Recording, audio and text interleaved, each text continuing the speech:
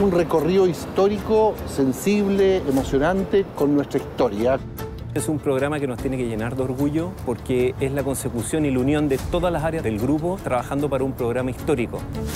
¿Qué íbamos a hacer por los 50 años del golpe? Teníamos que hacer algo distinto, innovador. Ha sido un proyecto maravilloso porque hemos podido juntar a todas las áreas del canal en este gran sueño. El trabajo de producción para poder conseguir grabar lo que estamos haciendo acá es monstruoso. Creo que es un programa épico, histórico. Nos pone sobre el tapete nuestro pasado, nuestra historia, pero por sobre todo nuestro futuro. Elegidos para mí es democracia. Son los próximos 50 años de la historia de Chile.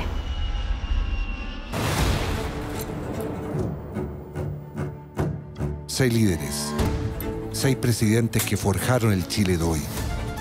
Nos contarán cómo fue reconstruir la democracia después del golpe de Estado.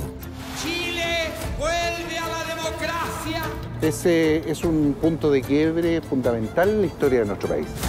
Queremos que quede como un legado para este país y las futuras generaciones, no solo por la profundidad de su contenido, sino también por los altos estándares de producción. Juntaron lo mejor de Mega para ofrecer un producto de calidad en un año muy importante. Eran tiempos difíciles. Nunca dimensionamos que lo que iba a pasar era tan horroroso como lo que pasó. Yo no podía creer que eran aviones bombardeando la moneda. Mi país, cierto, enloqueció. Hay heridas que nunca fueron cerradas. Lograr que ellos abran su corazón, su memoria, sus recuerdos. ¿Qué hizo? ¿Quién le habló? ¿Por dónde salió? ¿Qué miró? Vamos a conocer no a los presidentes, sino a las personas.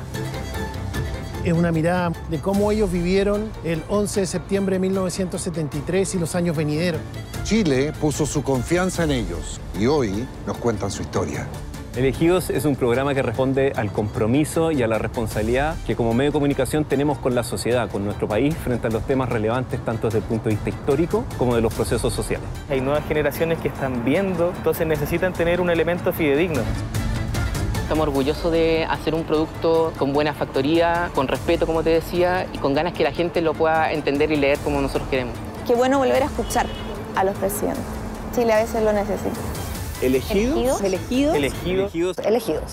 Elegidos, 50 años en primera persona. Gran estreno, jueves 10 de agosto, después de Generación 98. Mega.